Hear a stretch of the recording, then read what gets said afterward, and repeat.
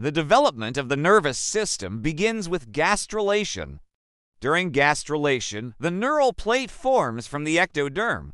The edges of the neural plate then fold inward like closing a zipper to form the neural tube.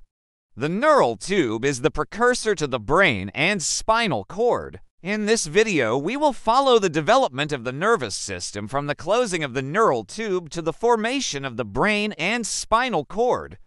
We will also see how neurons migrate to their final destination and how they form functional circuits.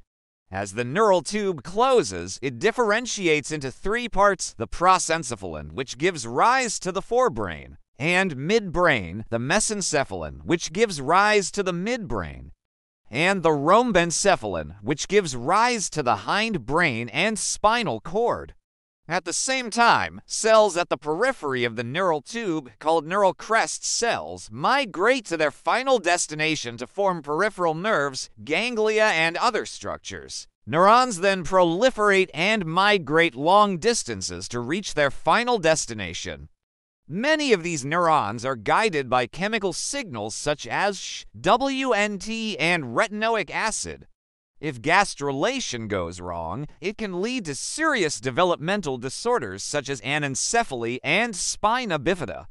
If neuron migration fails, it can lead to other disorders such as Hirschsprung disease. This has been a summary of the development of the nervous system.